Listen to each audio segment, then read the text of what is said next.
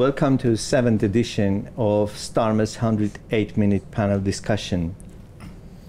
I've been thinking if I have to introduce our panelists by their profession, by names, etc., and, and then I thought, okay, I can I can mention who they are, but I shouldn't say what they have done and their accomplishment because I thought you cannot watch 108 minute discussion if you don't know names of people who are here today.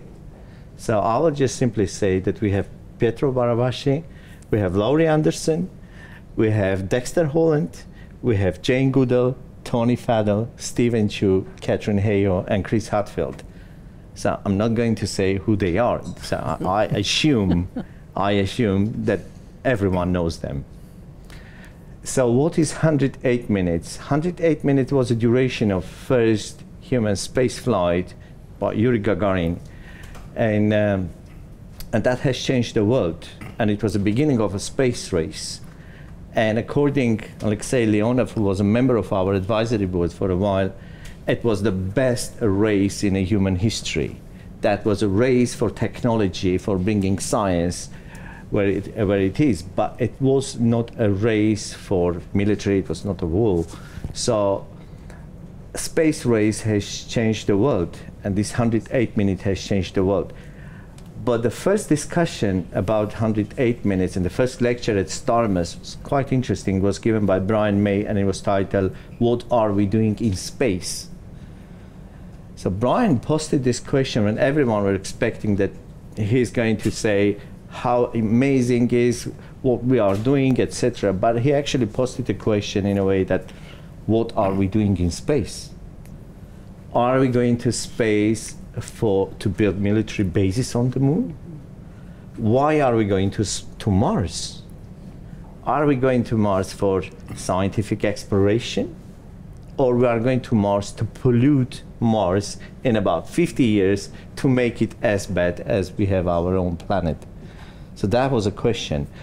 And uh, everyone, to my surprise, Neil Armstrong agreed with Brian completely. And he even mentioned, he cited Brian May in his talk, saying that Brian is right. So unless we change our character, unless we change, it's very dangerous for humanity to explore further, to go to Mars or to return to the moon. So it was very interesting. It was very much in the spirit of STARMUS. Yeah. So we have to make sure what are we doing? Why are we going to space? Now we, we, we are already in a space race too. And we are already talking about going, returning to Mars, we return to the moon, but what's going to happen with this return to the moon? What is the next stage?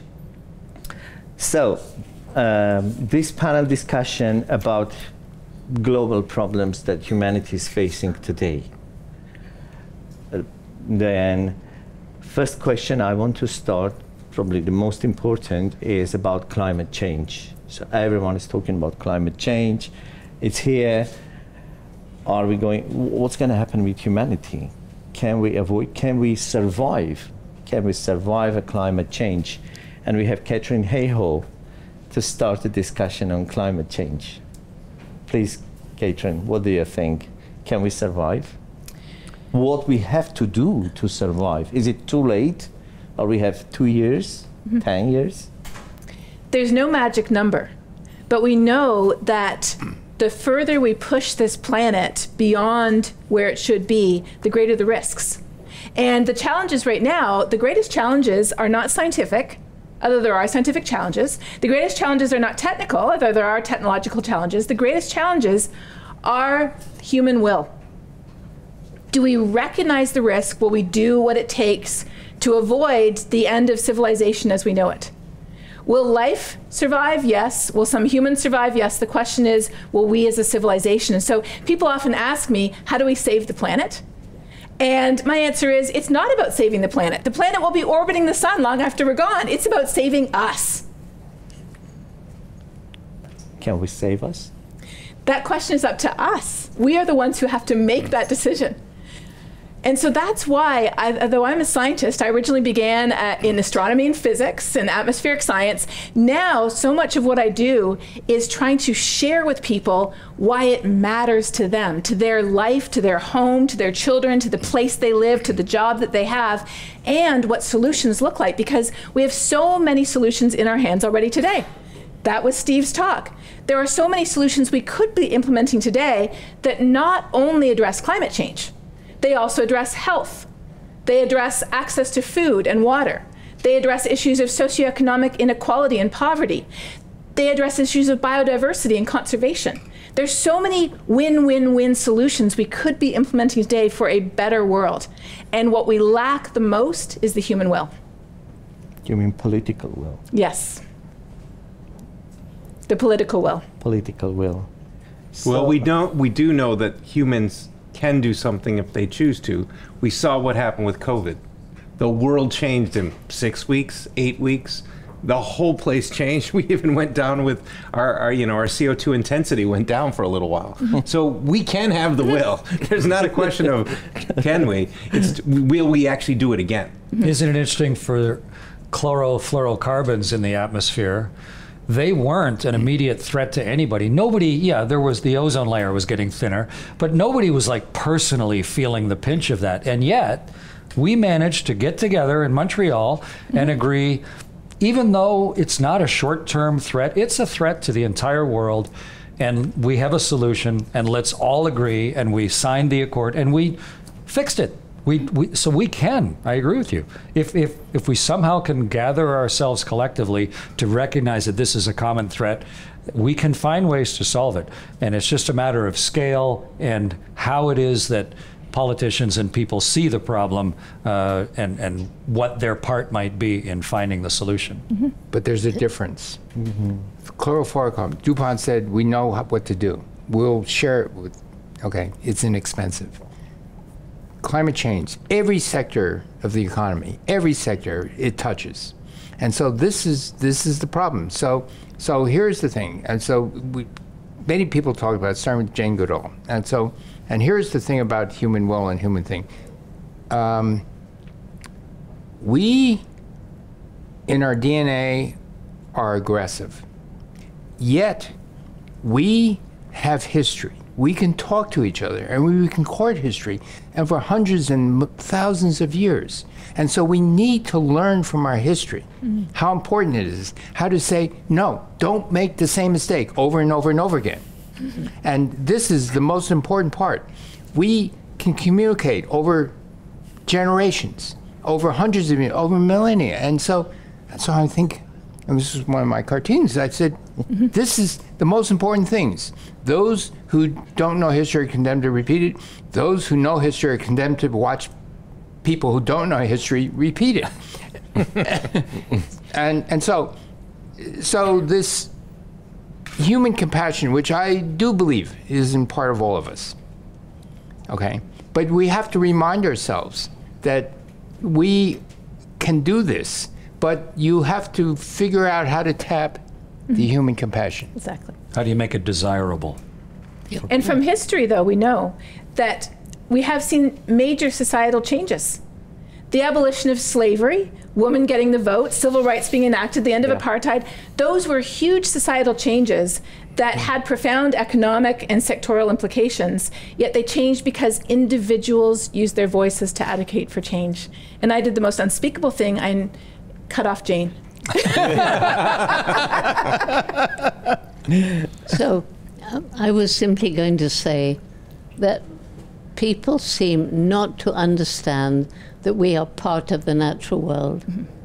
And not only we are part of the natural world, but we actually depend on it for food, water, air, everything.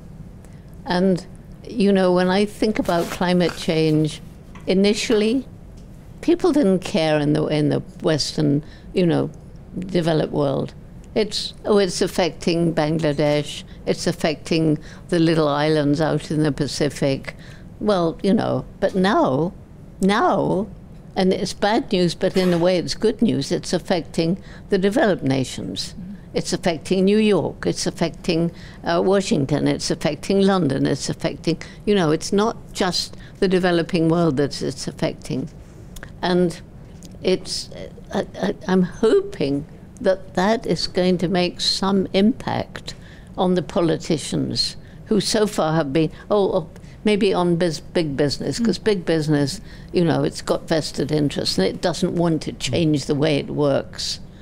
So, what's going to change big business, which right now has a has a very very unholy alliance with politics and, of course, with the military. So, what's going to change it? It can only be we, the people. Mm-hmm. It can only be the young mm-hmm. people that I work with traveling around the world. It's got to be us that that it, it's just I don't know. I, I get very upset and worked up about it because we have the tools. You've just said so. We know how, how to do it, but where is the will mm-hmm. when you up fighting against these vested interests of these huge corporations who don't want to change?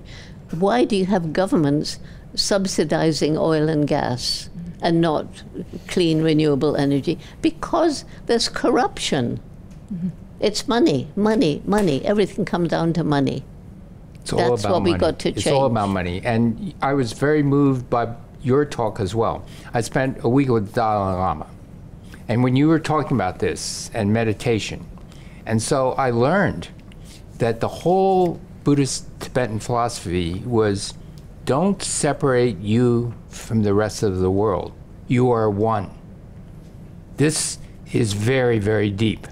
Because if you humans rest of the world, we're special.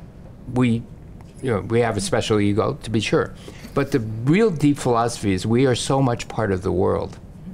And do not separate yourself from the rest of the world. I find that very encouraging, the number of people who are learning meditation and learning exactly what you're saying. Because uh, what we're talking about is how to alert the world to this. And um, I wish we could figure that out because it's, um, uh, with many movements, it's the threat of death, COVID, or for, for us, and I'm just saying us because I, I recently visited my university in New York, which was completely closed. All the gates were shut, and um, police were there, and there was no graduation because the students had um, been uh, voicing their opinions about the wars in the world. And I was thinking back to the time 56 years ago when I was in the same building, chained to the other students, um, and arrested by the police and dragged off. And I'm thinking, I'm ruining my life. You know, what am I doing this for? And um, then now I have the advantage of looking back at those years and thinking, guess what? Civil rights movement came out of that. Anti-war student, mo- the students today are saying things, and and using their voices to say, first let's stop the war. Then then we can figure out some ways that we can look at things. And um, so I I find that really encouraging that it does actually matter that you, what you say and what you do. And well, at the time you think, oh, this is crazy. It's um, in retrospect, uh, changes the world. I'm hoping Starmus is a, is a way to having people just say, okay, we, we really have to, to I mean, I, I came here and, and it's so encouraging to s- hear all of you speak because I'm, I'm a much more pessimistic person, I guess. so to hear this optimism is making me so happy. you know. Well, the situation is, well, we are facing now a World War III. It's a real danger. Do you think, well, are you optimistic that we're going to recover from this? Or I'm What do you think, completely bimodal. I need lithium. so, so here's the optimistic eh, side. The optimistic side is, well, humans will come to common sense. And once we have common sense, we have the intellect in the will to invent the solutions we, we need and to use the solutions we have. That's the optimistic side, but it takes a social conscience. The mm-hmm. pessimistic side is exactly what Jane said. big money, captured by big money. Mm-hmm. Um, the internet, artificial intelligence, mm-hmm. captured by big money. These companies were very smart. They hired the children of Chuck Schumer, leader in the Senate. So they get captured. And this Regulatory. this uh, committee. There were, you know, it was all big internet companies, and so, so uh, how do we do this? So we live in a democracy. We have to say that this is what's happening. The people should speak out. So that's the pessimistic side. But I will go back and say, reflexive. The optimism is in my heart because if you give up hope, you've given up your children, your grandchildren, and their children and grandchildren. So you cannot not hope. Here, here. it's my mission to go around the world giving hope because if we lose hope, we're doomed. Mm-hmm. If our children lose hope, we're doomed. Mm-hmm. And how can we possibly bring a child into this world and tell that child, well, sorry, darling, I mean, you know, I brought you here, but there's no hope for the future? Mm-hmm. Can't do that. I'm gonna. I don't want to monopolize this thing. So I talked to the Senate, and then these other people should chime in. and I said, so a small group of senators. imagine you're 10 years, 20 years in the future, because the senators are old. Uh, you're on your deathbed. You're surrounded by your loved ones, your family, your grandchildren. Granddaughter comes up to you and says, "Grandpa, you were in a position to do something. You didn't. Didn't you love me? I said that once, and my chief of staff said, Don't ever do that again. Hmm. Why not? Because it makes them feel uncomfortable.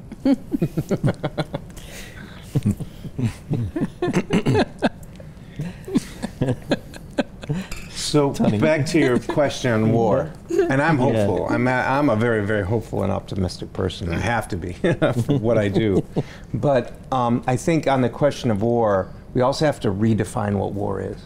I think we've we grew up. Some of us grew up, lived through all kinds of physical wars, whether there was land, sea, air, what have you we have a war and we have been having a war between all kinds of different entities and that's been a cyber war and no one really understands that we have been in world war iii for a couple of decades now on the internet. That's a war for minds a war for you know espionage. It's a war for all kinds of things. And those are more and i think are more powerful wars and actually easier to fight and at a massive scale than the physical wars we see today. Of course people are dying and that's absolutely wrong. There's it's we, physical wars are horrible but we do have another war and it has been brewing and brewing and, and it's happening everywhere and no one's really admitting it yet. We see how many people's identities are stolen how much money is stolen. We see governments being changed because of it and we need to make sure we understand that that is a new type of war in within this new tech technological society that we have and we can't ignore it because these physical wars these governments all of these things are changing because of the cyber wars that are going on and so we need to make sure we're fighting the right things, not the symptoms, but going after the root cause. Yeah. But, but can I just add, we're also having a war against nature. I fully agree. Yep. That's And a- another the great war. major- and also, you know, the other thing about these these horrible wars that are causing so much suffering, they are creating vast amounts of greenhouse gas going up into sure. the into the atmosphere. They're causing the destruction of forests because, like Vietnam, and that's also releasing CO2. And so it's all, that's the whole thing about today. Everything's interconnected. And if we want to solve one problem, we have to think about the others. We have to think holistically. And we've got enough people with enough brains and enough know how to get together and talk about all the different problems and try and solve them together. Jane, how do the chimpanzees resolve conflict?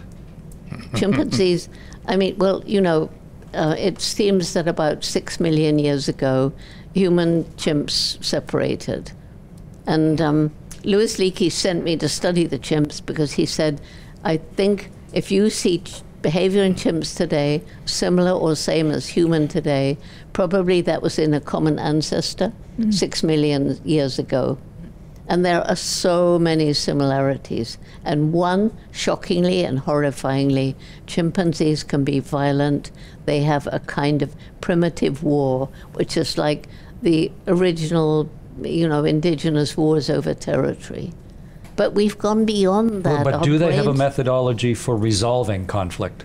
They don't know. They kill each other. And then they take Mm-hmm. over the territory. So what we need then, we can't rely on our nature. In fact, we have to go against our nature But, to but resolve We've got conflict. this intellect Right. that makes but us but it's more against our fundamental nature. So then how do you make something that is against our nature appealing enough that we are willing to make that choice? To me, that's the fundamental issue. How do we go against common human But- but nature and make it desirable? Don't you think most people don't want war?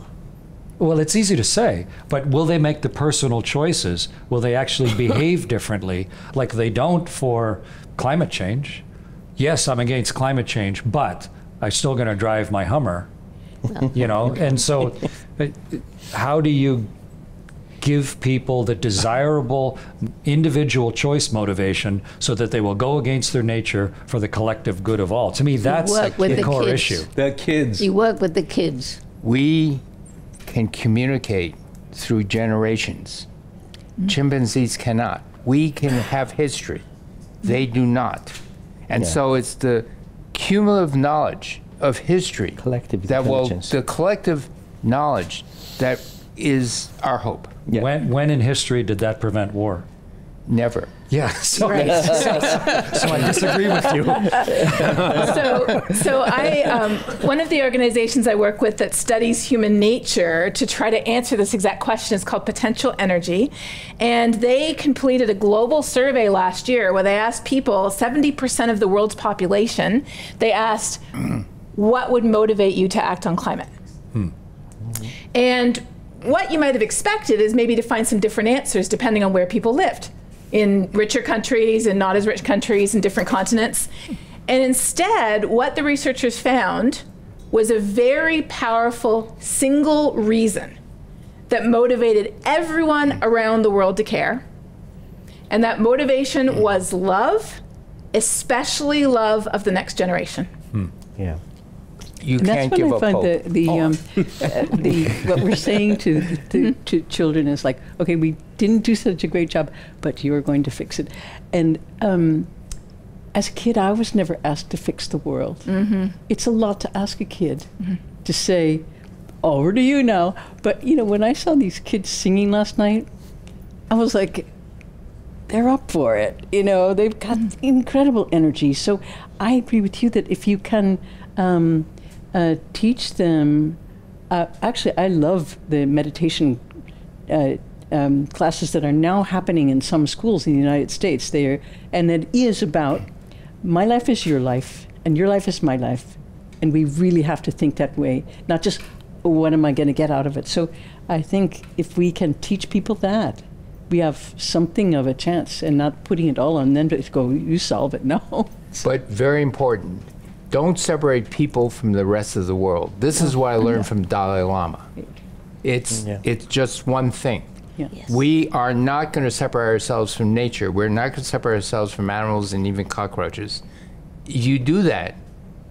Well, maybe cockroaches. No, Yeah, but we just agree that pandemic is a great example that we can get together immediately in a very short time scale, solve things, right? And pandemic was, I mean, there was HIV before, and I know Dexter did some research on this, right? Yes. So, how you are, you know, you are dealing with in a short time scale to to to explore. Yes. Nature. Well, I mean, we've had pandemics before, of course. The flu pandemic of 1918. This isn't a new thing necessarily, but you know, I think what's what's different now is the social media of it, the communication of it. I kind of think that's a problem. Um, it's not like you know Jonas Salk coming up with the polio vaccine and everyone says hooray. You know, I think now we have technological advances, but it's not enough to have the advance. You have to sell it. Like you actually have to convince people that this is a good thing, and that's a, a real difference from how it was, say, a generation ago. And I think it's a really important topic to uh, to attack is the communication of the thing. Yeah. But, There is a. di- sorry. Go ahead. Well, with, with pandemics, I mean, one of the major problems is the, the transfer of viruses from animals to people. Mm-hmm. And as we invade deeper and deeper and deeper into the habitat of wildlife, then, and, and these wet markets in Asia, and the, the horrible traffic of animals around the world, this means there's more and more and more opportunities of viruses jumping from one animal to one person. And if they bond or whatever it is that they do, um, then you can have a new pandemic. And we're getting closer and closer to that, and we're getting more and more um, resistance to antibiotics because of the misuse of antibiotics in animal husbandry, right? Absolutely, the wet markets they think are uh, a source of what they call zoonotic transmission Yeah. or whatever, and. Uh, uh, uh, you know, it, it appears that HIV originated from uh, butchering of the monkeys. Uh, Chimp, chimpanzee chimps. Yeah, in two parts of Africa. right, right. Separate, separate events. It looks HIV like. 1, HIV 2. Yeah, that's right. So, a matter of history, there was a difference between 1918 Spanish flu, which is labeled American Spanish flu, and uh, this one. The vector was the end of the war. People went home. The vector now is jet travel. It's profoundly better. It's spreading. At, it's a mm-hmm. b- much better vector. Mm-hmm. Can spread very quickly, for sure. Yeah, absolutely. Yeah, one. I mean, isn't it scary that one one animal gives one virus to one person, and now, unlike the old days, it can just go round and round and round Yeah, quickly. Right. quickly because right, of right. air travel. Yeah, I mean HIV kind of simmered for a long Yeah. time, right? You know, in, in Africa and stuff before it finally took hold uh, through jet travel. It, it looks like, right? Yep. Yeah. And there's another looming thing. I forget it was H1N5. It's anyway. There's a, a virus that, when caught in mammals, is 9% fatal. And it spread to humans, but it didn't transmit. And everybody's, all the health people are watching. If this becomes as infectious as COVID, as measles, it's a virus. We are not going to have a vaccine the way we had COVID with a very good marker. We may not. Yeah. Not to True, true. cheer you up. Mm. And most of us flew here. we're, we're the vectors. Yeah, but the pandemic was a, a very good example how we fail in bringing science to society. Because when social media exploded with things like the same microchips of Bill Gates and Microsoft sending, so vaccination is a complete failure and that the stuff. So I was really amazed. So how people actually 21st century could believe in this, and there were so celebrities and people really posting those things that don't get vaccinated because this is all rubbish, and you go. It's really surprising. Basically, we fail. Really, we have to bring science to society. Go this respect to science, and then Well, to be truthful, right? People have been talking about pandemics, possible pandemics, for a decade or more before COVID, and we need to prepare. This is a, a this is an eventuality, not a is it likely. It's going to happen. It's just a matter of when. And we, you know, everyone said, ah, yeah, we'll get around to that one day, right? And then, oh, and then we got around to it real fast. So I hope we don't, you know, I, I'm unfortunately have, um, looking at companies, looking at people, looking at societies and everything. Unfortunately, the way I look at it is people don't really change until they have a near death ac- Yeah. incident. Of course they do. You know, they change their health when they've had their close to death, when they've gone through that thing. And so I just hope we don't get there with the climate. Well, how about um, electric cars? Because uh, the best selling car in the world was the Model Y last year. Sure. Uh, and no one had a near death experience that made them buy the Model Y. They bought the Model Y, even though the batteries aren't great yet, the range isn't very good, there's a lousy infrastructure system for them. It's not a cheap car, and yet we collectively, for some reason, decided that was the most desirable car in the entire world last year. So how can we use that model of making because that's what Elon was trying to do. We have to electrify if we're going to survive as a species. So how can I make people want to electrify mm-hmm. rather than the government saying, you know, we need you to take uh, your coronavirus shot. How do you make it cool and desirable for people to give us the future that we want so we can deny our chimpanzee fundamental nature, which is not shaped that way? We have to appeal to the higher intellect and make people want those things. It- and I think is- the Model it is Y coo- It is a- cool to buy an electric car. Yeah. It is cool. Yeah, but why? Yeah. Because it is cool. I agree. that's, that's right. The fact of the matter is that buying an electric car doesn't make you pollute less. What makes you pollute less is if the electric par- Sure. car doesn't use as the source, original source of, of energy fossil fuel. But you got to start somewhere. Yeah, but you don't start that way. Oh, I think start- you do. yeah, Because think if- otherwise, nothing gets done. If you start that way, in my perspective, you create an alibi. I know a lot of people that feel very content with themselves because they drive an electric car. They don't mind the fact that the electricity which is produced to drive their car comes from coal. Yeah, but uh, so, So- how do you suggest solving it then? So the, the, the, the electric car per se is, can be interpreted as an alibi, from my perspective. The real issue is the production of power needs to move out of fossil fuels. So you, have to create a you can have public ca- demand for You it. can have a car which is run on hydrogen. Uh, you can have a car that runs on uh, fabricated fuels. The fact of the matter is that the hydrogen, Anyhow. now there was a bit of a hype about hydrogen, wasn't there?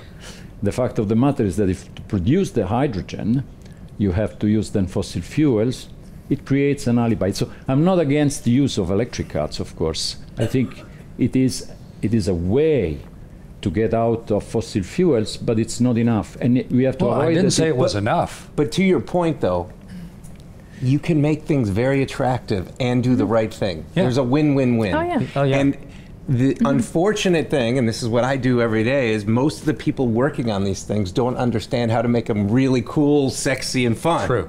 And so I, mm-hmm. luckily, I get to do that and and turn crazy ideas into something that people really want to buy and buy en masse. And so what we need to do is do more education to all these scientists, w- Uh, science communication, but science communication as fun, like Starmus is fun.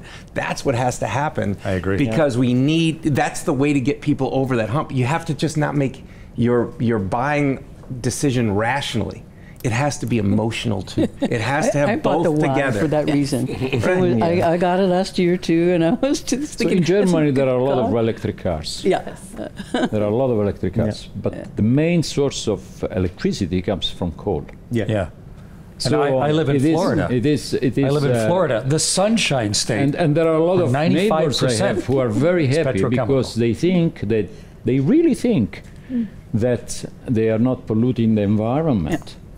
They Yeah. they really believe that I believe Yeah. because yeah maybe you as well but so and so it's it's a story which can be damaging because it can create a false expectation. I think that we have to first the first thing we should do is to solve the most difficult problem. Then the most difficult problem is technologically is not to uh, produce more electric cars. From my standpoint, it is to eliminate the production of uh, electricity by fossil fuels because this doesn't require the decision of an individual. This requires a policy which can be made at governmental level. And even that, we seem to have problems to, to get out of. The examples I have is what is happening in China. In China, this is going to happen. China will be, say, in France, this is happening. Uh, but in China, this is happening really fast. They will stop producing electricity by fossil fuels. And they will be the ones that then will run the electric cars for cheap. So I would just want to make a comment. We just transitioned from science into Politics. sociology and uh, motives and things like that. and so I would say um, people are driving electric cars for the wrong reason or the right reason. Um, 10 years ago, they said, you know, it's mostly coal, it's mostly carbon. I said, it doesn't matter because the world will transition to clean electricity. You have to do it all at the same time. You don't wait for clean electricity. No. And so, and so then the motive. Okay, people say they feel better because they eat less beef. Uh, they feel better because vegetarian. It's actually a good thing. You don't really want to kill animals uh, to to eat meat. But I don't care whether they feel better for this or whether it's an alibi. I really don't care, and I don't. c- uh, I'm not going to discuss motives at the end. If it happens, it happens. But I, I want to add one thing. You know, I said earlier everything's interconnected, and that we need to think holistically. So, okay, electric cars have have really reduced pollution, and from most people's perspective, electric cars are wonderful. But it's the batteries.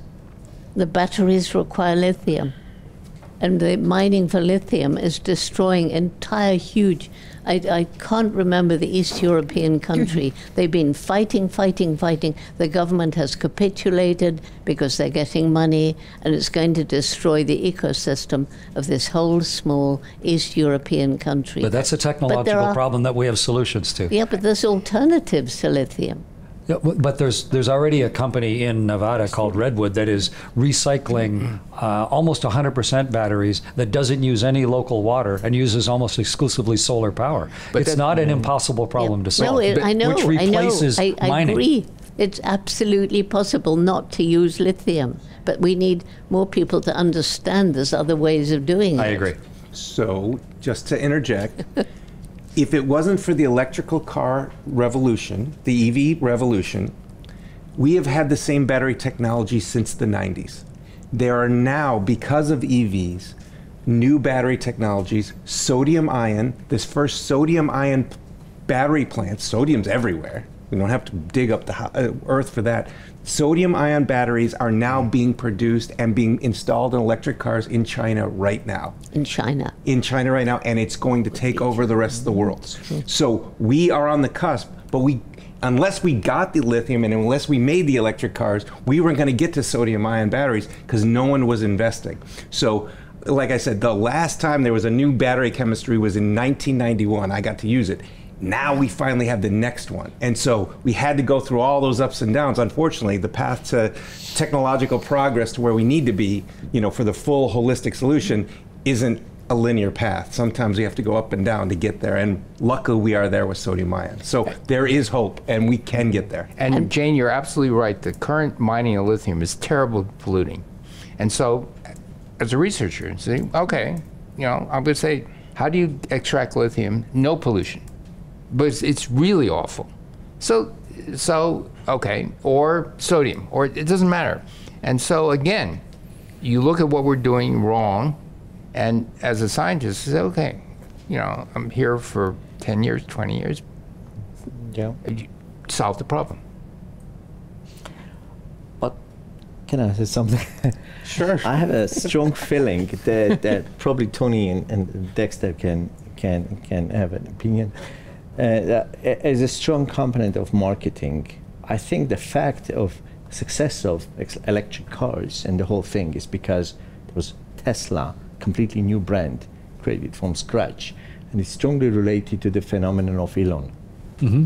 Very strong relation. I don't think that electric cars coming from Citroën, even if the same as Tesla technology, would have been so successful and so explosive, so revolutionary. The fact that it was Elon, who's a genius in marketing, who knows exactly how to market stuff, and it was him going parallel with SpaceX.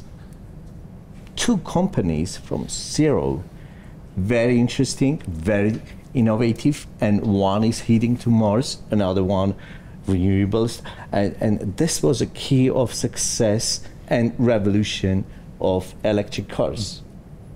and, and it's a lot about marketing. A lot about Do marketing. you agree? I think Dexter and and and and and, uh, and Tony knows about how you market this stuff. You Marketing, know, celebrity Yeah. factor for sure is a big part of that. I agree. Yeah, I think that Yeah. has something to do with. He made any, it cool. Any technology, if you look at all the tra- transitions, it's usually uh, one person behind it that, or is, has been credited with it to bring it forward because Exactly. that is their personal will, that's their mission Yes. in the world, and they are going to put it, give it to all of us and say, "Follow me, I am Yeah, the new religion." exactly. And you right? see his and it happens every time, yeah. and you need to have that. There has to be a face to this technology that people can then associate with and get behind. And if I could add, um, climate solutions have a marketing problem. No. because most solutions for climate and for biodiversity are less. Do less, be less, eat less, have less, travel less. it's all about less. And less appeals to a certain proportion of the population. And so many of the very committed advocates for climate and for nature are living less.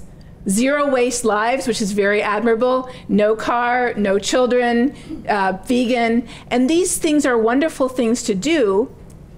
More power to them who can do them, but that is not going to convince the entire world to take on these less solutions. And so, as a climate scientist, every day I hear from someone saying, we just have to tell everybody it's less, make more sacrifices, be less, do less, have less. And unfortunately, that is not the way the human brain is wired. It's not why you buy a Tesla. It isn't. Because So- it's faster. it, right, it's faster. oh, and the icing on the cake is that it's good for the environment. So we need to make solutions the easiest, the most affordable, the most attractive options to be the best, not the worst. You know, when the new Apple iPhone comes out, are they saying, well, you really should get it because it's good for you? Eat your Brussels sprouts. Get the new Apple iPhone. No. I like Brussels sprouts. Well, I, I, I do now too. Once I realize you don't have to boil them. Bo- boiled Brussels sprouts, Steve. yes. No, there's there's 200 people lined up to get the new iPhone because it is better than what they had before. And I really believe that there are climate solutions that are better than what we have today. That said, you shouldn't buy a new iPhone every year. No. Just like you don't buy a new car or a TV or anything Right. else. Every 10 years, five years. Yes. we Well, have a big what's- program to recycle. Hand in your iPhone, we will remove all these minerals that we can then reuse, And they have that, recycle luckily, into now. new But technology. don't recycle, reuse. Use glass. Reuse glass. And so, just so that you know, Elon Musk's marketing genius. S, I'm going to go through the models. Oh, S. God. Model 3 in reverse. E, X, Y. Okay. Cybertruck. C. There are two more models. Sexy car. It's true. It's true. It is true. It's just he actually cha- it used to be called the Model E, and they changed No, it. to changed the, it to the They Model changed it. Three because So they, it was they- gonna- he was clever. Sexy car. They expect two more models. Skywriting. Yeah. Okay, All next right. topic. Yeah, next topic. We go to asteroids. Oh. Space junk. Okay. Uh, I'm out. Chris is an expert. All right. Um, Where are we? So something most people on the panel probably don't know is the Earth gets hit by 45 tons of rock every day. 45 tons of meteorites hit the world every day. 45 tons. And every gram of that comes through our satellites and comes past our space station. And, and those things aren't going eight kilometers a second like the things that are orbiting the world. They're going 30 kilometers a second. So there's an enormous natural threat, big and small, to everything that we've put into orbit. So that helps at least scale somewhat. Yeah, we have to be responsible for how we're making the problem worse, but don't ignore the reality of, of what also is going on in the background. However, there was zero threat of orbital debris in uh, September of 1957. And then we launched Sputnik, and now there was one up there. It- but because of all those other things, it only took three months to decay and burn up in the atmosphere. Um, but then everybody said, wow, this is a cool new thing. We could put I don't know, communication satellites up. We could learn about the ionosphere. We could put weapons up there, cameras. We could put uh. GPS navigation systems up there. And so Kennedy said, we're going to go to the moon because that will kickstart the entire industry, and it did. And only after a while do we become aware of the consequences of our excitement.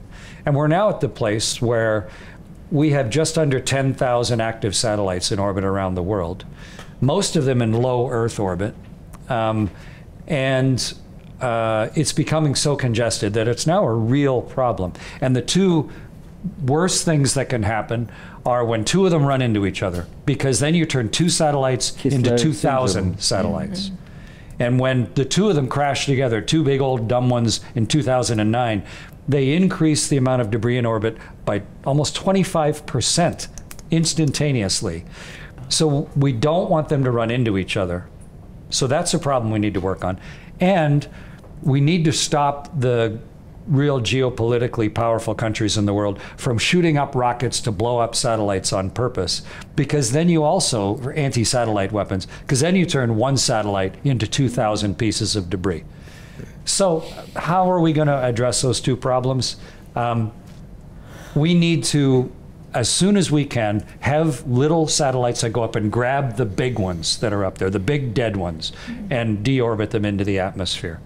And you'll hear people say, oh, well, we don't want to pollute the upper atmosphere with those rocket bodies. We have 45 tons. 45,000, uh, 45 tons of, of uh, rock that is coming into the atmosphere every day. So the little tiny pieces that were in deorbit are kind of dwarfed in comparison of all of the matter of the universe that's coming. But we need to get the big pieces out so they don't run into each other and cause thousands and thousands of smaller pieces. And we've got to ban anti satellite testing. And fortunately, the European Space Agency and the um, current American administration have both put a moratorium on anti satellite testing. And hopefully, uh, China has made some really good noises in Vienna at um, the United Nations Office of Outer Space Affairs very recently that they agree with that, because that's just stupidly self destructive.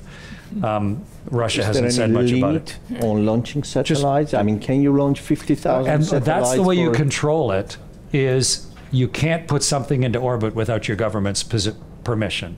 So the only way that you can control increasing the problem is giving launch licenses. And it- you need to restrict the launch license to then have a satellite that has a finite life, say five years. Your satellite can't stay up more than five years, and your satellite has to be able to maneuver so it doesn't run into something else. So we can do it. And it really, and I'll just stop talking in a second, but maybe a good example is last summer, in July, I think it was, on one day we set the record for the number of airliners that flew. It was like 135,000 commercial airliners flew that day. There's only 85,000 seconds in a day. So we lo- almost two airplanes a second. They flew all around the world, all very close to each other in altitude. Space is a lot bigger than that. Very close to each other in altitude, and none of them hit each other. And the reason we did that is they are very well designed. We have really good detectors on the ground to keep them from running into each other. They can maneuver to stay around each other, and they serve a really good societal purpose. So we've built this wonderful infrastructure that allows us to launch 135,000 airplanes in a day, and everybody got there okay. And we do it day after day after day, and we're amazed when an airplane has a problem. We're like shocked even though it's at a scale that most people don't understand. So we just need to extrapolate that thinking up instead of for the first 30 kilometers, we need to strap, put it up to the first 2,000 kilometers. It's not an unsolvable problem.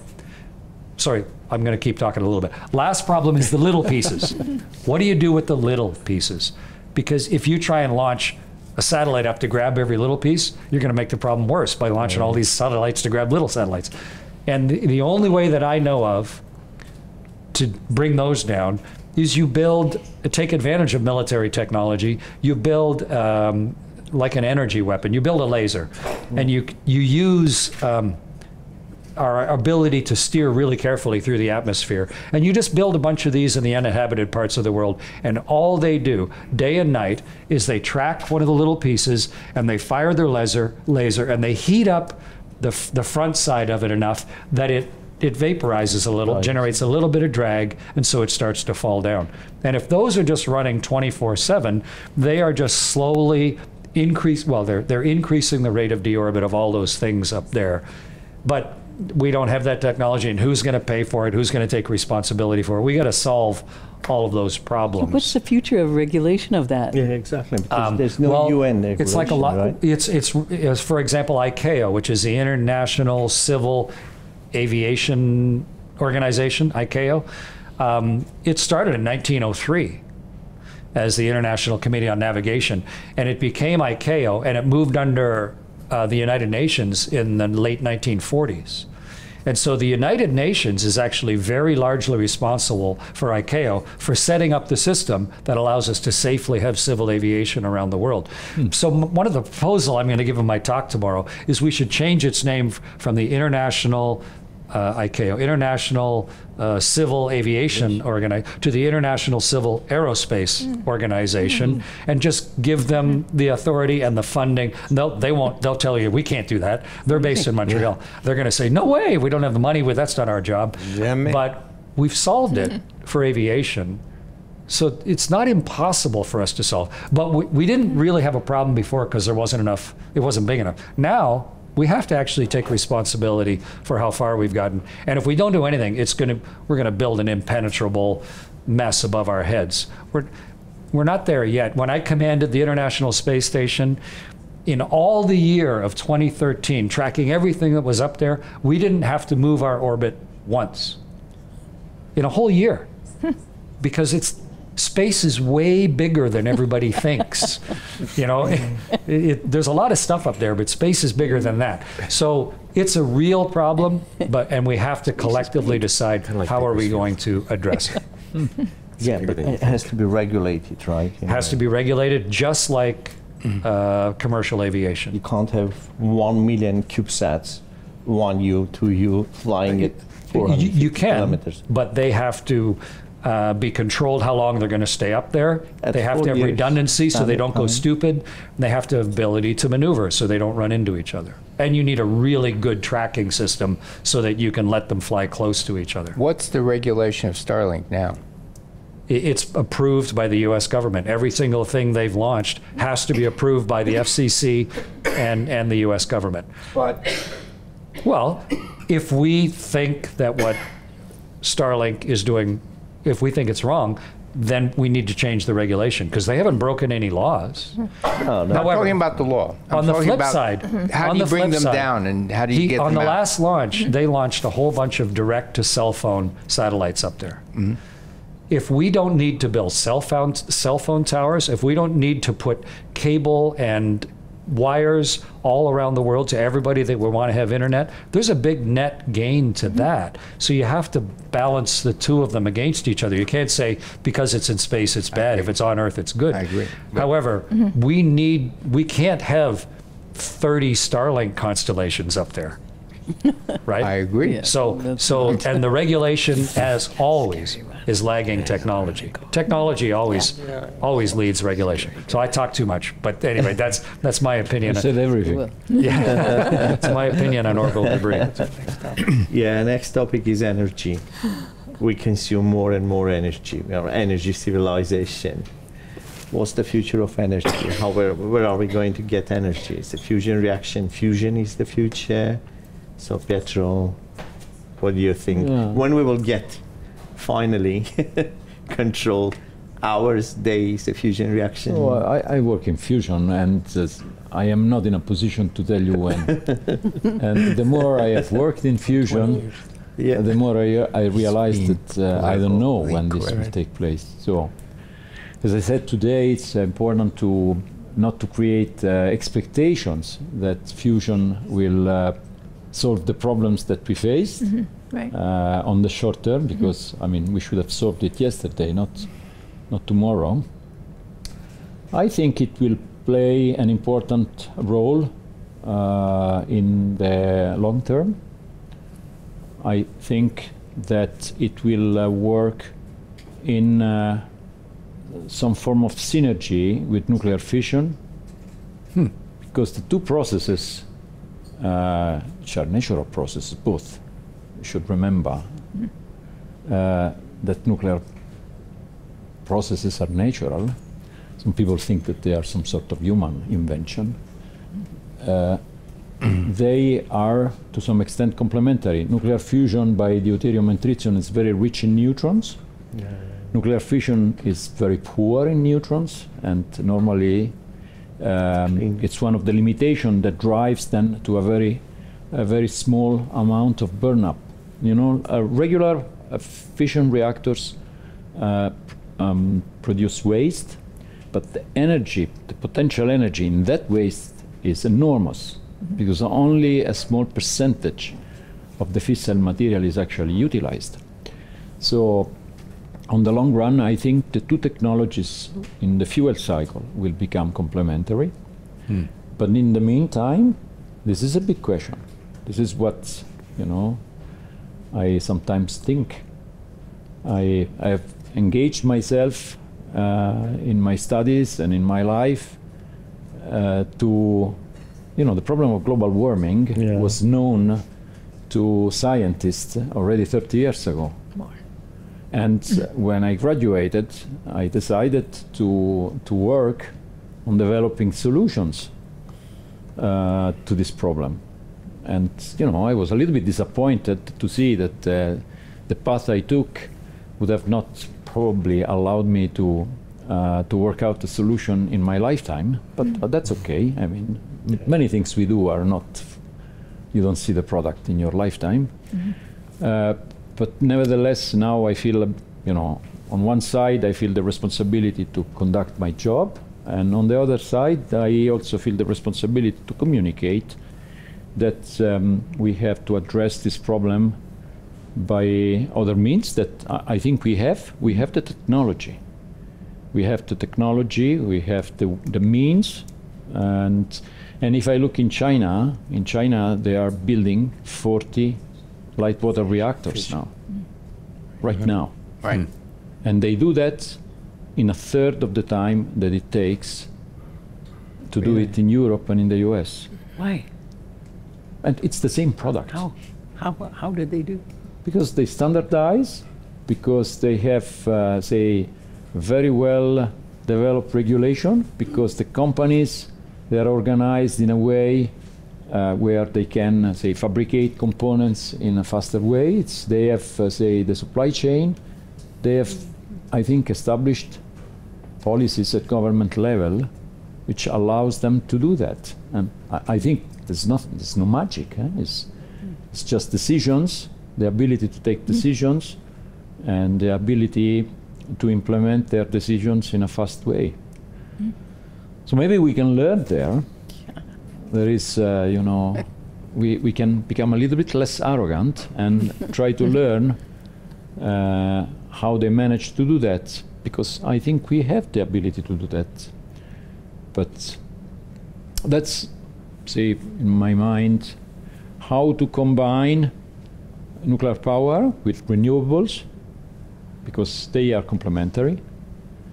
And on the long run, how to develop fusion in a way where it can support as a whole. You know, it, it, it has to become a system. It's not just a competition between different energy sources. It's a system that we can uh, develop to make sure that we produce most of the energy in such a way that can electrify all the consumption. We won't be able to solve flight for the time being. right. Airplanes still need fossil fuels. The 127 planes. But uh, when you were we saying about all these planes, I thought about all the carbon use- dioxide being Yeah. produced. Can we use renewable energy sources in order to then create the fos- the the jet fuel that we need in a re- in a renewable way? Can we make Yeah. that efficient? You, you can. You can. Yes. The, que- the fact of the matter is that uh, the cost of it is astronomical, Unless you have very cheap energy, Correct. which which is uh, say something that which is fusion, right? not fusion is not going to be cheap. Uh, I'll tell you, there is no there is no such a thing like cheap energy.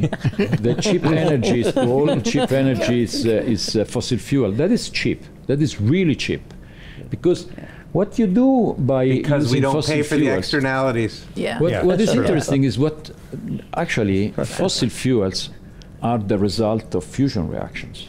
Right. Sure. Yes, from the Yeah, sun, the best right. fusion generator in the world. this is the fusion that was gener- that that was transported through yes uh, quanta all the way to Earth, and that uh, was transformed then in fossil fuels over hundreds of millions of years. And we are turning out and, and, and burning and say, oxidizing what uh, was generated over 100 millions of years over a relatively short time. That's why it's so cheap. Right. So, from uh, it requires, in my opinion, massive uh, government policies in order to, um, yes, turn around and be in a position to produce uh, electricity, depending on the region of the world, at a, at a competitive price versus versus fossil fuels. We're Okay. right next to Vienna. I was just thinking of when you were talking about, he wrote something in, in one of his books called Beyond the Pleasure Principle, I think, about um, trauma, the trauma of nature. And he was talking, and his example is, is a jellyfish, the only animal who's immortal in the world, the jellyfish that can re- repl- replicate. And he's talking about um, how we all, all our lives are about trauma and reliving it, rethinking it. The trauma of jellyfish is photosynthesis. The realization, like, oh, it comes from the sun. Everything comes from the sun. So they live at the bottom. Of, it's not just that they live at the bottom of the sea and they, they come to the surface and they go, oh, another world. No, it's the realization where power comes from, and it's the sun. So it's a really wonderful, crazy essay in uh, Beyond the Pleasure Principle. But um, I, I just like that Freud understood uh, animals and how they experience uh, the world and trauma. So, I, and also, you know, I'm so glad you were talking about our ancestors, the chimps, because I keep looking at this group and thinking, um, we've come so far from. If we were just all chimps sitting here thinking about stuff, but we're not. I mean, we all have these ideas, and it's just, it's so touching to me. Just when you said that, I, and they're punching each other and fighting. Mm-hmm. I mean, we, we punch each other too, but we're not right now. So uh, I, I just,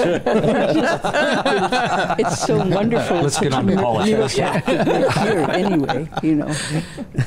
so thanks for reminding us of that with your chips. What, what is I, I had a, a very interest a very I'm curious about one one uh, one thing about chimps.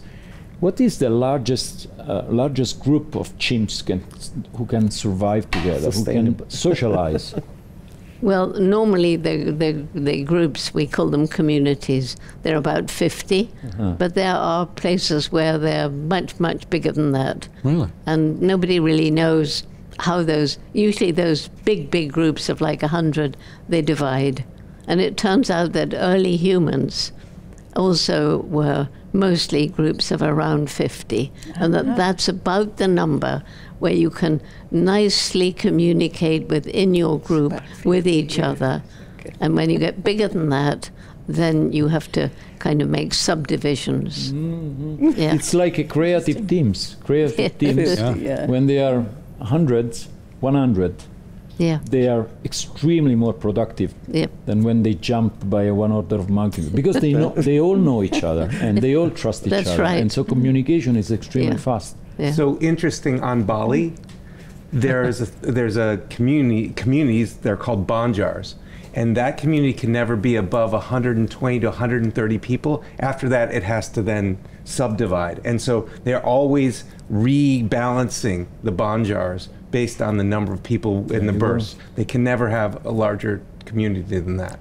So there must be an explanation. There's a science behind why Oh, for sure. this number and not an order of magnitude. How, how do you decide who goes? So the- It's The our brain, families do. our Oh, brain capacity, isn't it? This How many people can we actually bring into our brains to actually know as individuals in our own community? Mm-hmm.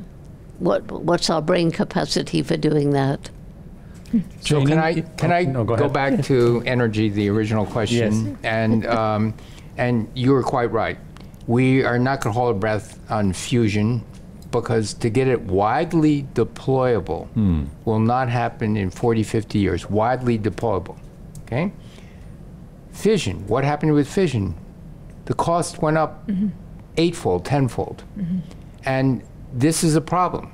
Why did the costs go up? Well, you know, Chernobyl, Fukushima, uh, Three Mile Island. So, what do we need to do? We need to assure society we can do fission safely and set a set of regulations like spacecraft, NASA. Freeze it in time, way early, and then say, okay, internationally, this is what we want to do. Because if you don't, in the 10 year period you build a reactor and regulations change, we've all, you know, we may not have experienced. Anyone who's redecorated and I've, you you know, building big projects, change order, ka-ching, mm-hmm. ka-ching. In time. yeah. And and so what happens is if the regulations change mm-hmm. during the lifetime, you no longer have the original plan, and this makes the cost skyrocket. And so I've thought about this deeply. We have the technology we had it in the 1980s. It was much cheaper. It was a factor eight cheaper. So we need to do this. Radioactive waste, an issue. Proliferation, an issue. These are solvable. But in the end, uh, we need every everything, everything. There's not, there's, you know, I, I'm the biggest fan of renewables, and uh, you can imagine we need energy storage. We need all these things, and so this is, you know, all hands on deck. We need all these solutions. Mm. One final thing about energy. Energy historically is directly proportional to the quality of life. Yeah. Yep. And how do we get energy ecologically sound so it doesn't ruin the earth? It doesn't do all these things because fossil energy we learned in our later, recently, last 30, 40 years, this is bad. Okay, so, so the challenge as a techie nerd person is what you said. No, we're going to do without energy. Uh, oh, the developing countries. No, you stay there. No, hmm. no. You want to provide clean, good energy. It's a technical challenge.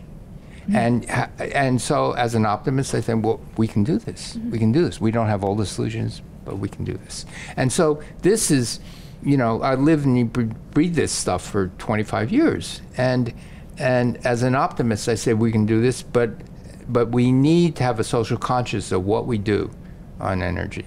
And, and what we are doing now is not good. And so mm-hmm. this is this goes to the deep roots of society and solutions. Mm-hmm.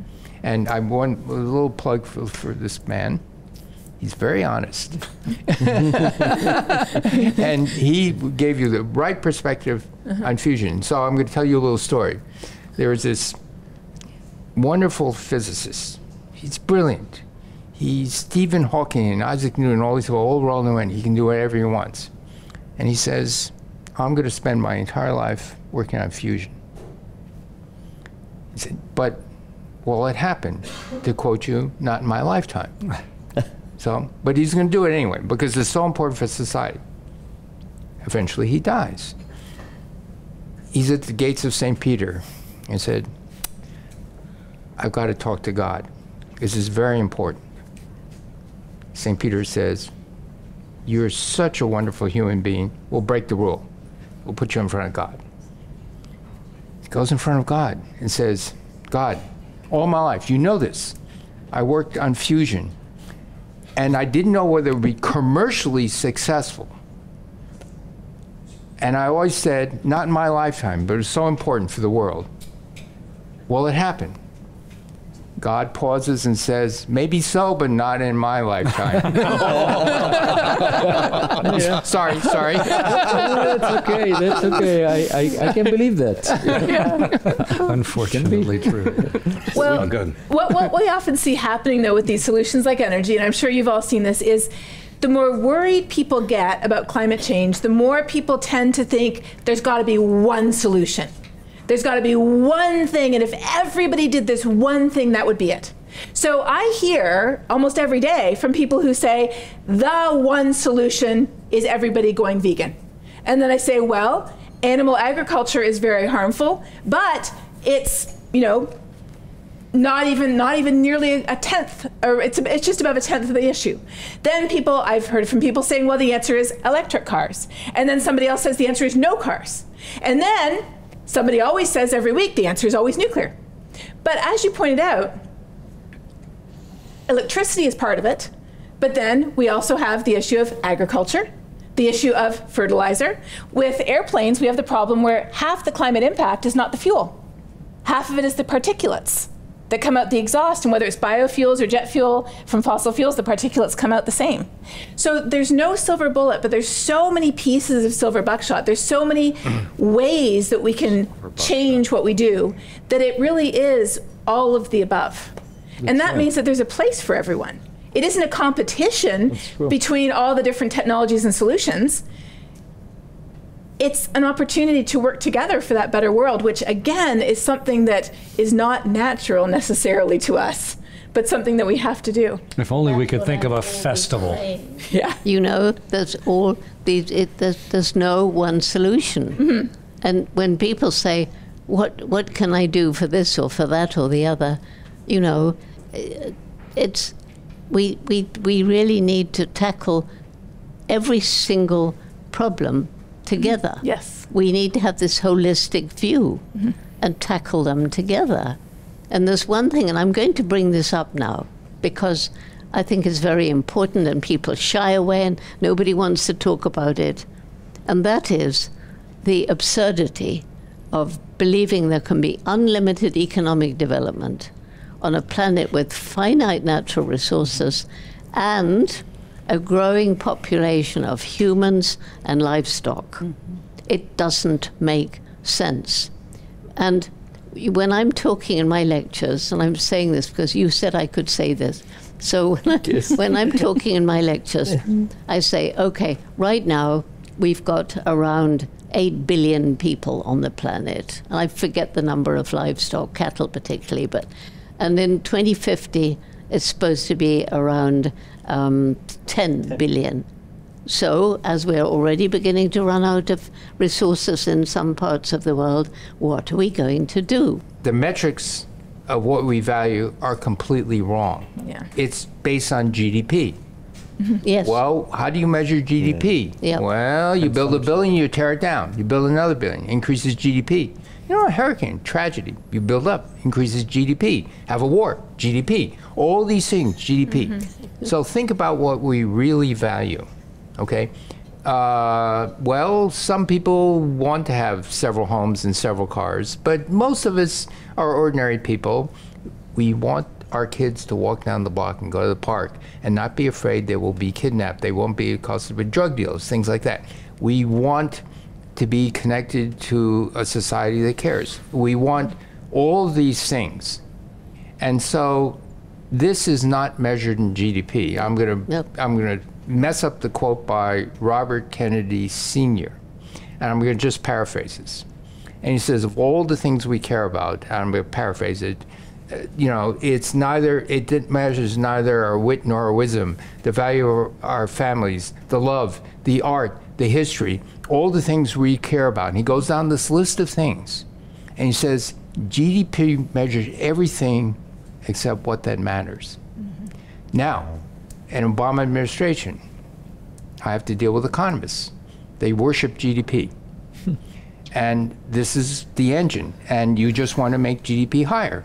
And I and okay, economists, by the way, are not scientists. Far from it. Uh, it's not a Nobel Prize. It's a medal in the honor of Alfred Nobel. Very important. And and the economists I dealt with in the Obama administration thought I was just, you know, they tried to undermine what the president was doing, what I was trying to do, because it doesn't enhance GDP. It, you know, this is not the way it works. And so they worship the god of GDP. And and you try to say, no, no, no, no, this is not what we value. And he said, oh, what? Well, let's start with Human Development Index. GDP on a logarithmic scale, health, longevity, education. It's a start. I said, no, no, no, no, that's too complicated. GDP, GDP, GDP, GDP. and this is a problem. And that Milton Friedman quote is the responsibility of corporations to make profit. And this is what is unfortunately having huge sway in government. The economists have outside influence. Absolutely. And that's what also called national interests. Yes. Greed. What is Me, national me, me. interests? Yes. 21st century. Yeah. We need to pay attention to the Bhutan, the king of Bhutan. with his Ah, the happiness index. kingdom of the Happy- world. Yes, happiness index. Yeah, Happiness index. Yeah. happiness index. Also, an older quote money is the root of all evil. Yes. So anyway, so so anyway, so I was fighting this in the um, um, Obama administration, and these economists are just saying, no, no, no, no, just you know, just But it, So you- we thought lawyers were bad, now it's economists. th- th- this brings me to a very interesting question we discussed at 108 minutes many years ago in Tenerife, and that we had Jos- Joseph Stiglitz. he is an economist with a heart and a soul. I know, I He know. he is wonderful. Yeah, very interesting because he made this comment, and I asked him. I said, "Look, if we have an evidence that brings me to Don't Look Up, the film, mm-hmm. right? And if we have an asteroid it's going to hit, in we have one month to take decision if we are going to defend ourselves or not." And he said, "That's impossible. It will go to Congress, lawmakers, etc. By the time we decide to to defend ourselves, we're gone." So that shows how the, the system works. Yeah, Joe Stiglitz. I, I get to be friends with Joe Stiglitz. Ah, please, please, talk more. Yeah. Neutralize your colleagues. Yeah, i i- his background in physics, actually, he, he's a physicist. Oh, Of course, well, that that- explains everything. sense. To economy. It explains everything.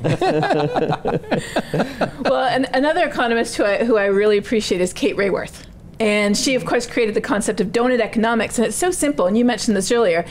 The simple concept is that our economics don't include what goes in and what comes out. and so we are living, like you said, as if on an infinite flat planet. We just assume there is infinite to go in, and whatever comes out, we can just push away where it doesn't bother us. And in reality, of course, we live on a round planet. And on a round planet, there is a limited amount to go in, and what goes out comes right back around the other side. I'm being a nerd. We live in a s- sort of ellipsoid spheroid planet. Oh, God. They're still round. Just not finite. Let's Close just go. enough. We're friends. We're friends. We are, we are. I'll, we'll just go with finite, Steve. How's that? finite. And so it's a very simple concept, like Jane said, that you have to look at the whole system. We live in a relatively closed system. And so all of our, our economics has to be serving Yes. our ability to live on a spheroidal planet um, rather than round Oblique- planet. there you go. See, it just sounds better when you say round. Um, it has to. It has to be in service to that rather than us in service to it. Do economists like carbon taxes? They like carbon taxes, uh, but carbon taxes is very important, but it's not the full thing. If you put a 100 euro tax on carbon, uh, you know, our Secretary of Energy did its calculation, 60 cents a gallon. Okay, 60 cents a gallon in the United States doesn't change anything. The tax in the United States in gasoline is 19.3 cents a gallon, federal tax. Okay, and no politician will ever raise this. So carbon tax is a necessary ingredient. It's it can't, mm-hmm. It's not the only ingredient. Yeah. Well, we'll move to the last question about, about artificial intelligence. Hmm. But, but I have a. Do you remember there was a Kardashev scale of civilizations? So many, many years Yeah. ago, the Soviet si- physicist was dividing the scale of how developed is this civilization. Mm-hmm. So he put human, our civilization, number one because we are still with carbon, etc. Right? Do you think that's a right scale? Energy is the only parameter that we can use to define where the civilization is. Is that how much energy we can manage as a civilization? Are there some other parameters? Or is the energy is the main thing? What if you exaggerate it? Because that sometimes clarifies things. What if we had unlimited free energy? Would that solve all our problems? No, that's hmm. the thing. So it's not that energy. It won't solve aggression. Mm-hmm. Right. I, I think it would help, but we're still going to find all sorts of things to hit each other in the face about, probably. Yeah. Because there's other inputs to the system than energy. I think energy is the most important one. But even if we had unlimited free energy, I, I think then we Still, just take it for You granted don't and have move an on. unlimited planet. Yeah. All right, artificial intelligence. Last Oh, topic. just a small My topic. God. Tony, is here. what about it? AI. AI? We've had AI for a long time. AI, is- it didn't just show up. AI didn't just show up, you know, a, a year and a half ago or two years ago. AI has been going on for many decades now, and in, there have been products, there have been ways of improving things, um, and being in use for 20 years and more. I made products with AI in it 15 mm. years ago, and they were successful. We just didn't call it AI. We called it machine learning. And we didn't even tell people there was machine learning. We told them something else because it would be scary. so now all of a sudden AI here, AI is here, and everyone's like, "Whoa! I can interact with AI, and it's interesting, and it talks back to me, and all this other stuff." As we heard from Gary Marcus yesterday or two days ago, it, it's it's still dumb. The the new form of AI, or the new now that we have the compute power, the new form of AI is really still not reasoning. It's not smart. It we think it might be smart. We think when we talk to it, it's like, oh, it it gets me. It's not. It's just regurgitating back what we already put into the system. There are ways of making it smarter. There are ways of making it so it's it doesn't hallucinate. There's all these things, but we do have this technology. It is there today, but there are many things. Just like Gary said, we have to know what data is put into it, how it's trained, all these things. Otherwise, we are using a software system that is a huge hack. It literally is a hack, and what a hack is is something where we we tried something, and oh, it works, but we really don't know how it works. We don't know why it works, but we're going to start following this thing endlessly, like a you know some kind of religious figure, and it's not going to be that. We have to go back to first principles. We have to go back and really understand what we're building, why we're building it, how we're building it, to be able to trust it. Mm-hmm. Just like when we build a rocket or a, rocket, a plane or anything else, we need to know. And if we're building societies, we're building individuals based on AI with this very, very broken system, mm-hmm. we are gonna we're gonna find ourselves in a in a real mess.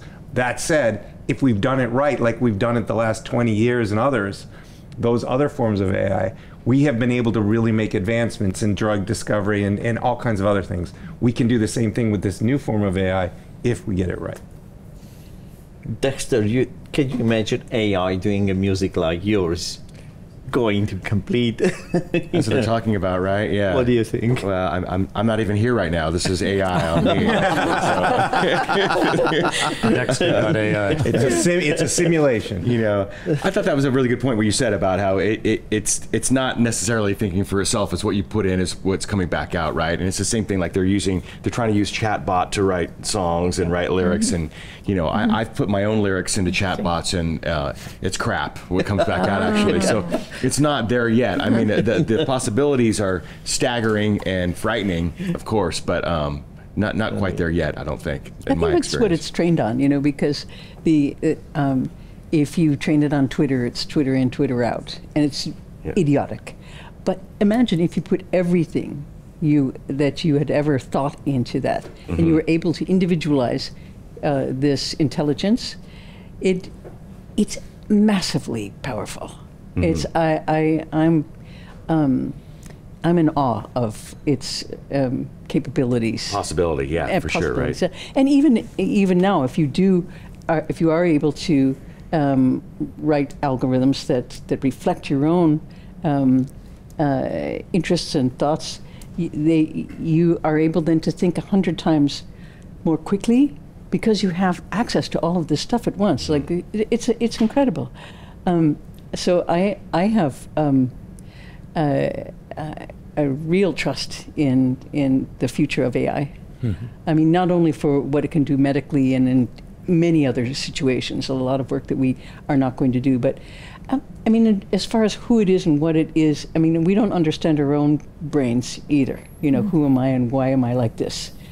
You know, that's already uh, quite mysterious. So trying to understand that uh, is um, difficult right now, but I agree with you. It's been around for so many years, and just when it got personalized, then it became a kind of like, oh, am I having a conversation with another entity, and that spooked people out. I mean, remember a hundred years ago, uh, the play uh, RUR, which was a, a, a play about. Written by a Czech writer, Karel, who about robots and how they were going to take over the world, and everyone was like, "Oh, this is hundred years ago," and and they're not. You know, it's just very very slow, but it has amazing potential to uh, do all sorts of things. So I think it it will write great music. It will write great um, lyrics. I, I really think it will. And right now it needs a little editing because it is kind of idiotic for a lot of. Right, but yeah. it's learning, and it's learning very fast. That's a good point. Yeah. It's very fast. Well, like we were saying yesterday or the day before or whenever we met, you know, what bothers me is what it's going to do to our children's brains. Because, um, you know, now a, a child is doing an essay for school. We had to look it up. We went to the library, you know, we worked it out, we thought about it, we wrote it down. Now they can ask AI to write an essay. My son tells me this. Mm-hmm. He says. Jane, look, this is what I asked AI to write me a poem about, I can't remember what it was. This is what AI produced. It was a good poem. So if all our children are now going to use AI to produce their schoolwork, what is that? Is that not going to make some atrophy of the brain? Unless, unless we can find a way of challenging them mm. and, and saying, okay, now you're going to do these exams, but you're sitting in this room and you're not going to look up any, you're not going to allow laptops or cell phones or anything, but something's got to be done. Oh yeah. Well, I think you know we've we've co-evolved with our tools over millennia. Any tool that we've made, we've co-evolved with it. It can be used for good or bad. When we when AI first came out for chess, chess came out, Deep Blue came, beat Garry Kasparov. We said chess is over. Chess is more popular than ever, and humans co-evolved with it and made it and we became better through it. Same thing with Go, with AlphaGo. We're, we're playing more competitive Go than ever, and humans are getting better.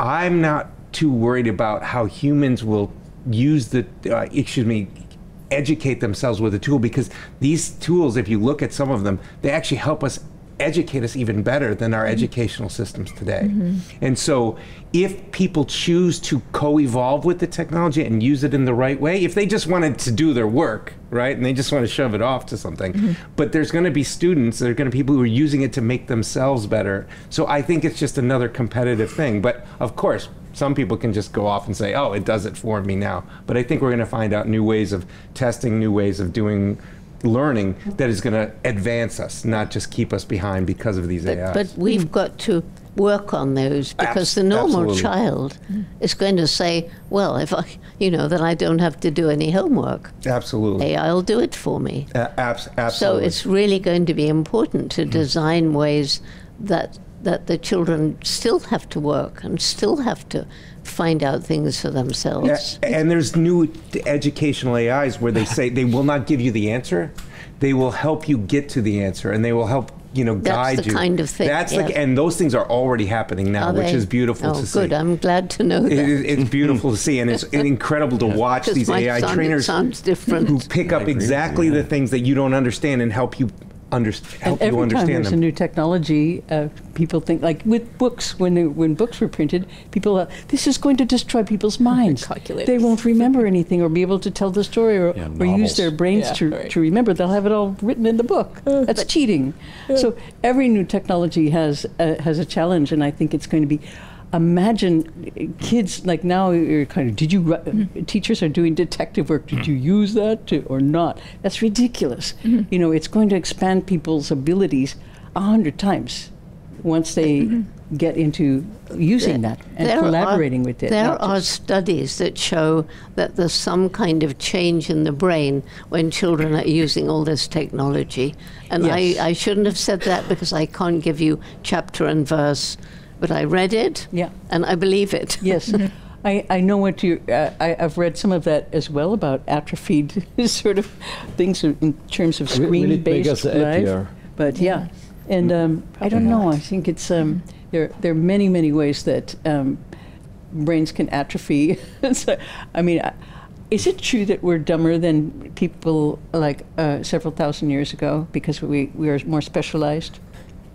Well, I'm sure, I'm sure that the, the rounded education that people used to have, Yeah. it, it helps you live. It helps, you Helps you live. live, yeah. It helps you solve life's problems. Yes. And if we're concentrated on one thing, you know, it's like everything is interconnected. Can I say that again? That it's all interconnected. We need to think holistically. We need to think holistically to get through life. So let me interject, uh, but first starting to say that, um, you know, faculty meeting, you say everything that's been said that's worth saying, but I haven't said it. Uh, and so about this, I'm going to, physicists like to generalize, so I'm going to try to, it, it, lift it is a higher thing. Talk a tiny bit louder for me. Okay, sorry. I'm 90. Only. We couldn't tell. so anyway, I'm, I, um, I want to talk about what people are doing in a, a more generalized situation. And in the most generalized situation, we went through things. We went through, uh, you know, Bible handwritten. No, printing press is going to short. No, no, no. But you, okay, all these things. We have calculators. You forget to do math. You forget to do arithmetic. All these things. And each time. So what's really important? What's really important is that the young people have to have a new frontier to feel that they have to work on something. And I'm going to quote um, a dear friend who was the co-inventor of the laser. He's now dead, but he he, he he's you know, and so um, now I'm going to senior moment. But anyway, this this business about struggling and everything, and he was saying, you know, yes, it's all true, it's all this, it's all that, and and and so you know, it's the struggle to learn, it's the struggle to do something that really makes us grow. Productive struggle. It's productive struggle. Yeah. If you you know, and if you have a cal, um, as you your point, you have a calculator. Okay, we don't have to do that. We have new technology. You just go on and on and on. But as long as we have to do something, that's the most important thing that will make our brain grow.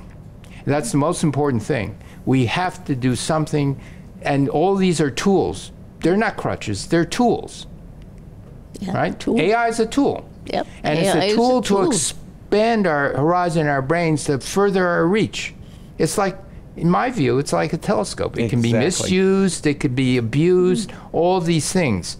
But in an optimistic way, this is a tool that expands our intellectual horizon. We, we become dependent on these Yep. tools, on the other hand. We dependent on We become calculators. more- you know, people right. don't even know how to divide anymore.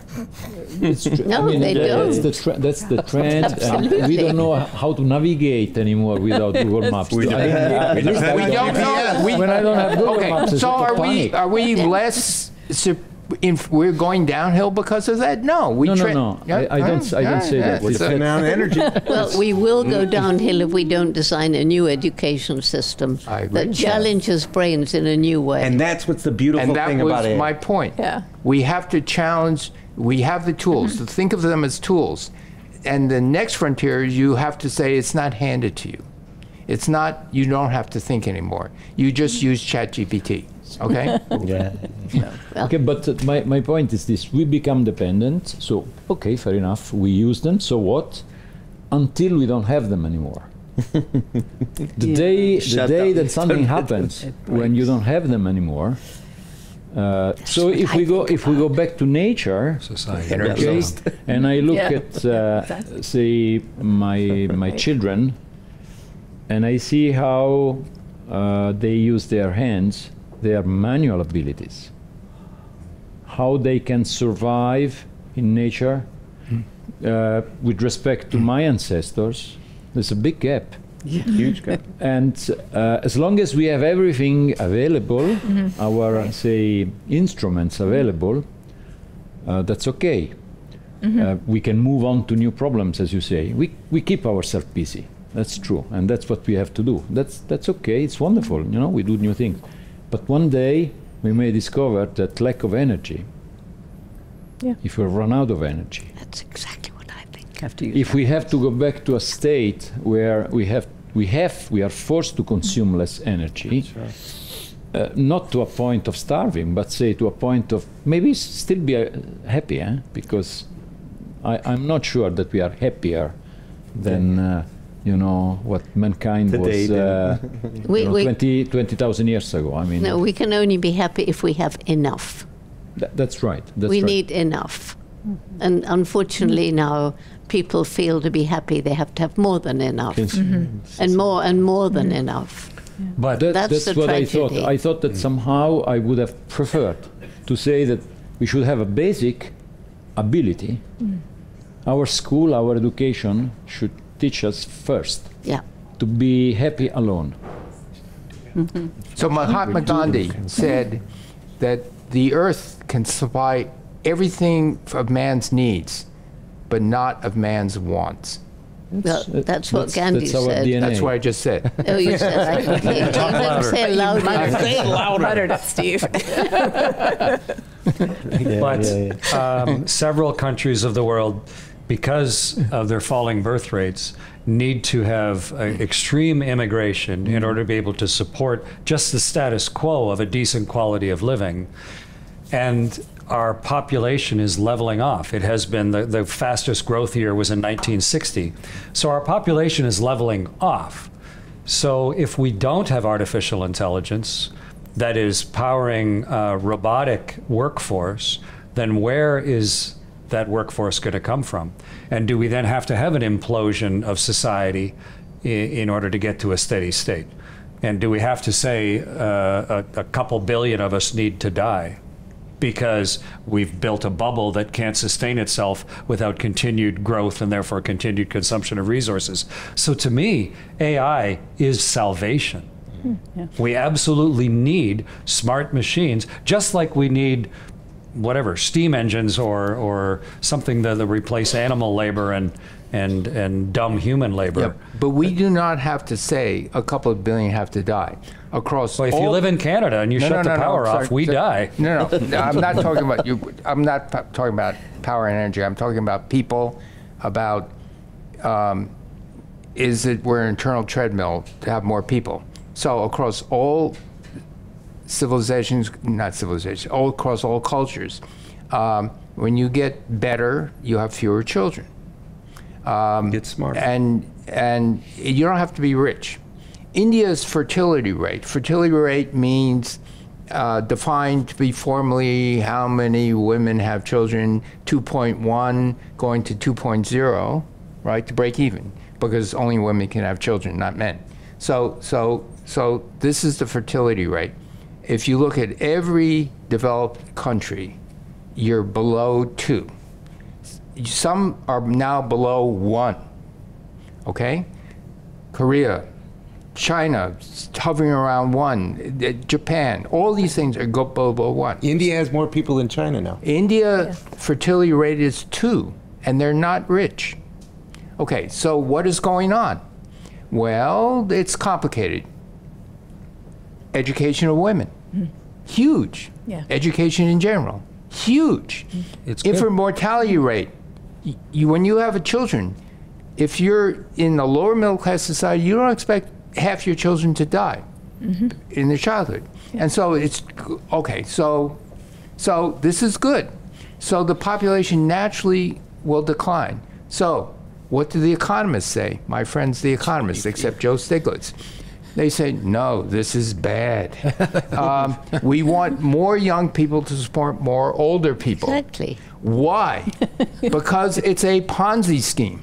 Oh. It's a slow motion Ponzi scheme of, of, of this. And so, so, and so my friends, the economists, are saying, this is crazy. And I'm ex- trying to explain this in the Obama administration. This is crazy. No, no, no. this is, this is, this is like, I says, what is it like? Is it like Moses on stone tablets? What is going on here? And the natural tendency, let the population naturally decline. It will. And then you have these advisors to governments saying, no, no, no, you don't want this. You don't want this. And so just let it naturally happen. And so you go, okay, 8 billion going to 10 billion. Well, this is, we're completely unsustainable. Sustainability is a pipe dream, but at least you want to make it last longer. And so you need to do this. And you need people to recognize it's okay. We have the technology and the automation mm-hmm. to say, For productivity. and the productivity. We went from a agrarian society, mechanized farming. All of a sudden, you don't need farmers. Okay, they go build factories, cars, wash machines, all this other thing, automated. Okay? Okay, so you need people to have meaningful jobs. If we had the mm-hmm. social wisdom mm-hmm. to do this and let population decline, this is the only way. Yeah. Okay, and and so you're you know this is just on a treadmill, and so since 2009, I'm in the government trying to tell people to do this. So you, you have a you have a sort of interim where people are not getting jobs because AI and machinery is taking over, but we have to get over that to where you don't need the number of people because you have machines and AI doing the jobs that people hmm. used to do. But right now, there's people who don't have jobs because machines have taken over. That's my point. Hmm. Yeah. yeah. And so you need meaningful jobs. People want meaningful mm-hmm. jobs. They want worth in their life. Mm-hmm. You know, they having to live. guaranteed education, forget it. And so we have automation. And so think of automation as a good thing, not a bad thing. And, and, and so let the population decline. And the only thing I would say is I'm hoping the population of economists decline faster. Me too. I think to finish on a better note, which is mm. getting back to what we were talking about, we have this brain that we can use. We are self aware, we understand what we're doing, we can look to the future, we can model different futures, and we can decide which future we want mm. based on these projections. But to end with a quote from Jane, it's only when our clever brain and our human heart come together that we can really reach our full potential. And so, in the end, what do any of our problems come down to but a failure to love? And so, if we look at it that way, is that not the most powerful force we have to work towards a better future? Absolutely. And computers don't have it. That's a yes, excellent Yes. point. Yeah. no, We they're could, learning. we they're could take another 108 minutes on that topic. Moving on. Dave, what are you doing? Dave, Yeah. do you want to want to do this? This is from So, 2001. 2001. Daisy, Daisy. In this time, uh, 63 years ago, the very first man rode a rocket, took a huge risk, and then saw the world in a whole new way, Mm-hmm. and then came back down through the atmosphere, and his vehicle was plumbing into the ground and going to crash. And just before he got to his 108 minutes, he pulled the handles and ejected out of his spaceship. And it plowed into a field, and he came floating down, no, not where he was supposed to, in a, in, in a parachute near Saratov. And then he had to like go and find somebody and phone and say, "Hey, this is where I actually landed on the world." But it was he took an enormous risk to try and do something new, and it took the same amount of time uh, as we just had our conversation, 108 minutes. Thank you very much. 108 minutes are gone. So I propose that we go to the table and we continue our discussion. It's going to be a lively one. yeah. So thank you very much. Thank you, Garik. Thanks, everybody. Thank you. And congratulations for your comment. Oh, thank you. It was so nice you.